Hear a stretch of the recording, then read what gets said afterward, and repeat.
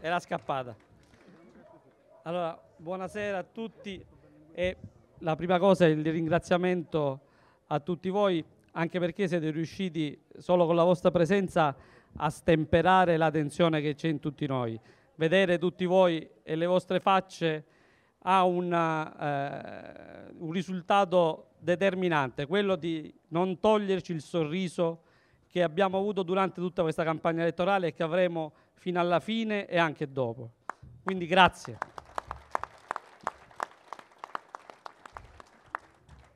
Ieri sera, durante il comizio della lista Libera Nizza, si è parlato a lungo del mancato accordo tra il Partito Democratico e altri partiti, anzi sarebbe meglio dire spezzoni di partiti, perché non hanno la possibilità, come ha detto la stessa candidata Brigandì, di mettere il loro nome nel simbolo, quasi a vergognarsi di partecipare a qualcosa.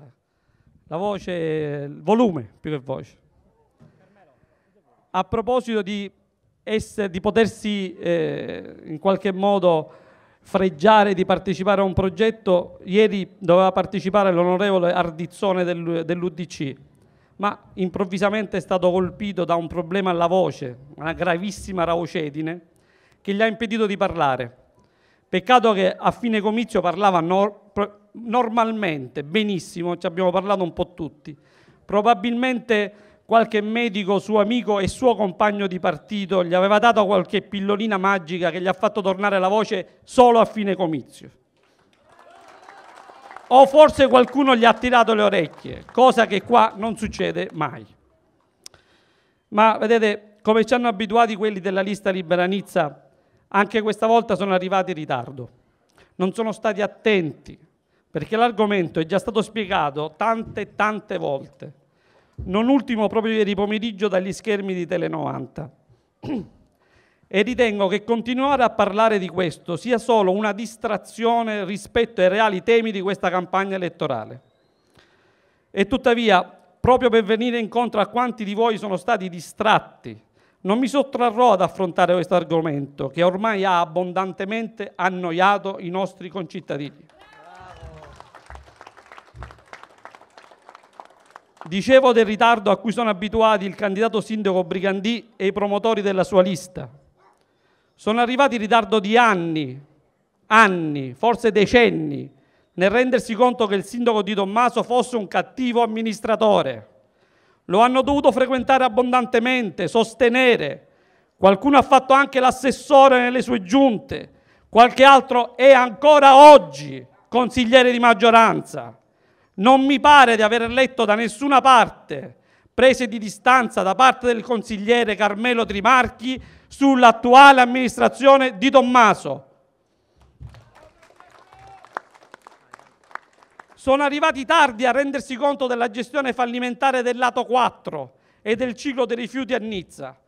Prima il sindaco di Fiume di Nizza, onorevole De Luca, assessore designato della lista Libera Nizza, ha dovuto appoggiare, difendere, sostenere Alessandro Di Tommaso quale componente del consiglio d'amministrazione del lato e i relativi emolumenti. Sono arrivati tardi nel proporre la raccolta differenziata e porta a porta dei rifiuti, con il relativo sconto per i cittadini sulle tariffe comunali. Lo avevamo già detto noi in tante, tante, tante altre occasioni. Sono arrivati tardi nello scoprire l'aumento delle tariffe comunali, in particolar modo della Tarsu. Vedete, il 16 gennaio, quando ancora doveva iniziare la campagna elettorale e qualche altro era distratto probabilmente, il Partito Democratico ha denunciato la stangata di Di Tommaso sulla Tarso, ha denunciato il conflitto di interessi che c'era tra padre e figlio per quanto riguarda Lato. Non ho visto, non ho visto altri, non ho visto Sicilia Vera, non ho visto l'UDC, non ho visto FLI, non ho visto nessuno. Sono arrivati tardissimo sul piano regolatore sulla mancanza di zone verdi, di strutture sportive, sulla tutela del territorio dell'Alve e del torrente Landro e Nisi, sul caso via Villafranca, sulla tutela e valorizzazione del centro storico e dei quartieri, sulla valorizzazione del lungomare. Tutto questo era già stato scritto con una nostra nota il 23 ottobre 2010. Dove eravate allora? Dove eravate allora? Naturalmente tutte queste carte sono a disposizione di chiunque. Avremmo potuto fare le fotocopie e distribuirle, ci mancano i fondi, scusate.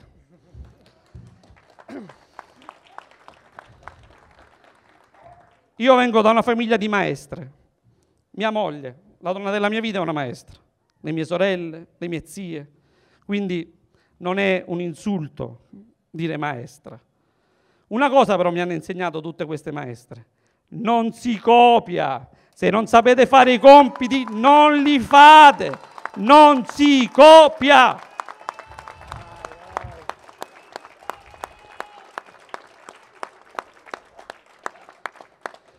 Un ultimo accenno al comizio di ieri. Lasciate stare la storia politica e la tradizione del Partito Comunista Italiano a Nizza.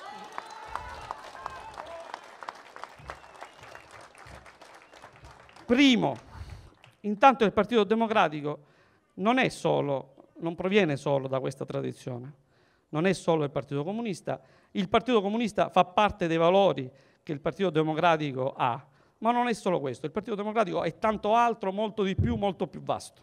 Sarebbe, non sarebbe corretto eh, costringerlo in questo recinto. E, una, e un'altra cosa vi vorrei dire. Questa è una tradizione che in ogni caso comunque non vi appartiene. E vi ricordo che quando Berlinguer parlava di questione morale, voi eravate dall'altra parte, eravate dalla parte dei nani e delle ballerine.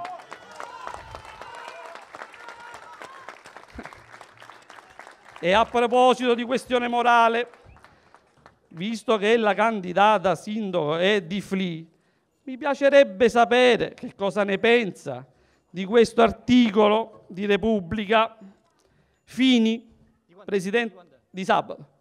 Fini, presidente della Camera e presidente di Fli. Chi è sotto processo non deve candidarsi. Comunque, questo è un problema vostro, non nostro. Avete citato il sindaco avvocato Ciccio Romeo. Ora, parlare delle persone scomparse, a mio modesto avviso, è sempre di cattivo gusto. Felice Romeo, mio carissimo e fraterno amico, penso che mi perdonerà se lo faccio solo una volta in tutta la campagna elettorale. E lo faccio ricordando una cosa. L'avvocato Ciccio Romeo fu sconfitto due volte come sindaco, nel 78 e nell'83. Subito dopo ci fu sempre accanto, restò accanto a tutti noi con coerenza e dignità. Non ha cambiato partito! Ma quelli erano probabilmente erano altri tempi o molto probabilmente erano altri uomini.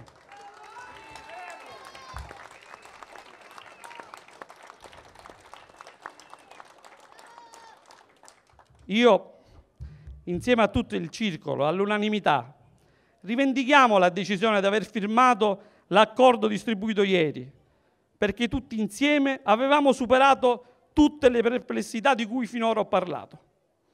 Avevamo superato la perplessità verso un candidato autoproclamatosi, che aveva fatto il pendolo però in questi anni, tra opposizione, maggioranza, deluga, opposizione, domani dove sarà non si sa. Avevamo superato la perplessità derivante dalla presenza del socio o ex socio, ditemi voi, ovvero dell'onorevole De Luca, quindi dell'ex socio de, della politica, dell'andamento politico, della gestione politica del nostro territorio di Tommaso, perché è indiscusso che gli ultimi cinque anni sono stati un binomio De Luca di Tommaso. Avevamo superato le perplessità che nascevano dalle affermazioni del portavoce di Sicilia Vera, e anche degli altri partecipanti dell'UDC e del FLI che dicevano apertis verbis, una sola parola di latino so io, a differenza di altre, che tutti insieme potevamo lottare massimo per la lista. Certamente non per il sindaco, in quanto Di Tommaso avrebbe vinto sicuramente. Se questo non è vero, il, il consigliere Lombardo, il consigliere Gugliotta, il segretario dell'UDC, così dicono, Matteo Franciglia, presenti a tutte quelle discussioni, a era presente anche il candidato sindaco, a cui gli si diceva in faccia tu non potrai vincere mai, vengono qui e mi smentiscono.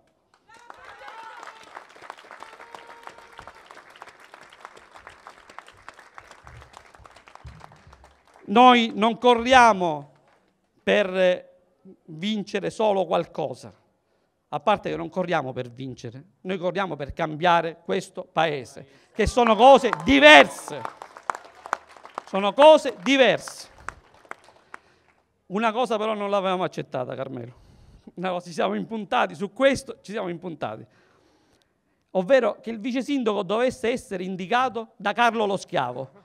Vi giuro, io questo non l'avevo, no, su questo mi sono impuntato perché quando ho avuto la bozza dell'accordo e ho visto scritto che il candidato, il vice sindaco doveva essere scelto da Carlo lo Schiavo, a questo mi sono impuntato, mi dispiace. Scherzo a parte, quell'accordo era la fotocopia, il copia e incolla di un accordo fatto a Santa Teresa. Lo dico non perché ci fosse niente di male, ma lo dico per ricordare a me stesso e a tutti voi che dopo che l'abbiamo stracciato noi in maniera civile con un solo comunicato stampa, qualche giorno dopo l'onorevole De Luca, lo stesso accordo, identico, eh, preciso, lo ha strappato a Santa Teresa. Allora, come si dice, il lupo di malacoscienza come opera pensa? Se siamo noi in malafede, se siamo stati noi in malafede, figuriamoci De Luca a Santa Teresa come è stato, anche perché l'ha strappato ancora dopo, quindi ha voluto portare la trattativa ancora più avanti. Se a queste premesse poi aggiungiamo che nell'accordo, come avete potuto leggere tutti, perché ve l'hanno distribuito, quindi è pubblico, si parlava solo di posti e poltrone. Se aggiungiamo che in otto giorni il candidato sindaco designato non ha sentito una sola volta, una sola volta il bisogno di riunire le persone che stavano dando vita a questa aggregazione, che non si è mai parlato in dieci giorni né di programmi né di candidati, dimostrando così l'incapacità da parte della consigliera Brigandì di esercitare una leadership autorevole e propositiva. Il circolo del PD non poteva fare altro che prendere sempre all'unanimità la decisione di uscire da un accordo di apparati e non di persone, non di cittadini, non di idee. E questo io sono orgoglioso di averlo fatto.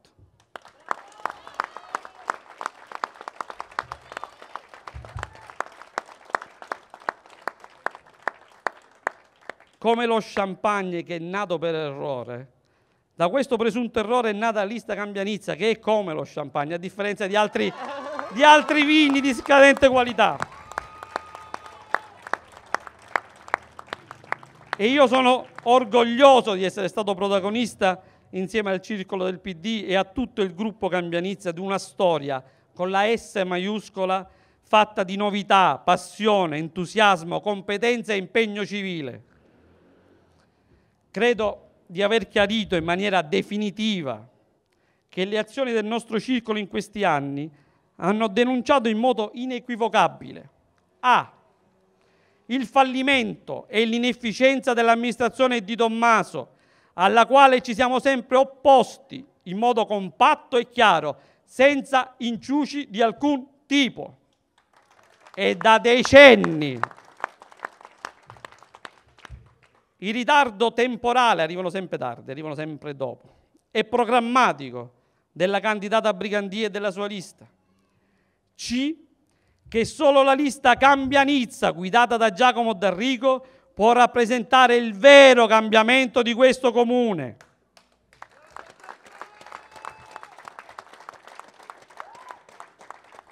Noi non possiamo lasciare il nostro comune nelle mani di un novello Callisto Tanzi.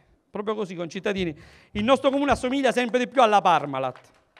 Come Tanzi, come Callisto Tanzi, anche Di Tommaso ripete sempre, i conti sono in ordine, soltanto che per pagare i fornitori dobbiamo accendere mutui, per pagare gli stipendi dobbiamo accendere mutui, per i progetti piccoli che siano dobbiamo accendere mutui. Ma se tutto va bene, dottore Di Tommaso, perché dobbiamo sempre accendere mutui? Perché? Probabilmente perché non va tutto bene, perché probabilmente il nostro comune scoppierà come è scoppiata la Parmalat. Risparmiare sulle spese senza però dover perdere in termini di efficienza e servizi, questo è un punto qualificante del nostro programma. Come può avvenire tutto questo? La risposta sta in una, in una parola, valorizzazione. Valorizzazione della macchina amministrativa e delle risorse umane già presenti e operanti nel nostro comune, eliminando in tal modo strutture esterne e sprechi. Se, se, si riesce a dare valore a ciò che si ha, non è necessario ricorrere all'esterno. Risorse nei dizionari significa fonte di ricchezza. Le risorse umane presenti nel nostro comune sono fonte di ricchezza per il nostro Paese.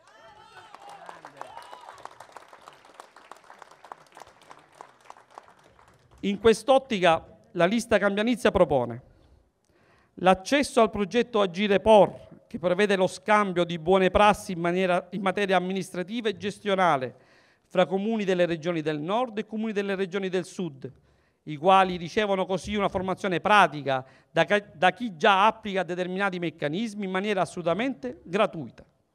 Proponiamo l'abolizione di tutte le istituzioni inutili, che comportano spese aggiuntive non produttive per il comune, con affidamento delle rispettive responsabilità agli assessorati competenti.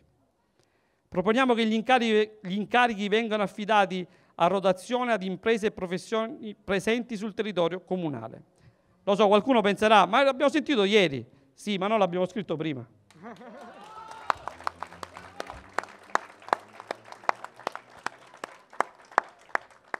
Verrà adottato il regolamento interno sul personale, studiato in modo da garantire da un lato efficienza e i servizi al cittadino e dall'altro il rispetto dell'esigenza del personale, flessibilità degli orari, turnazioni, eccetera. Nizzardi, non è più tempo di sprechi, né in termini economici né in termini di tempo. Il paese è fermo, l'amministrazione di Tommaso ha tirato il freno da molti anni ormai. Sta a voi far ripartire la nostra macchina. Le chiavi sono in mano vostra. Le chiavi voi le potete utilizzare il 6 e il 7 maggio votando la lista Cambianizza, votando il candidato sindaco Giacomo D'Arrigo per un vero cambiamento di questo Paese. Basta con le copie, basta con, le, con i programmi taroccati e basta con l'amministrazione di Tommaso. È ora che vada a casa. È ora che vada a casa.